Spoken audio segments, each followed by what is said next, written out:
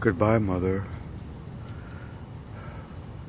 You know I love you forever, and I will, I will see you soon.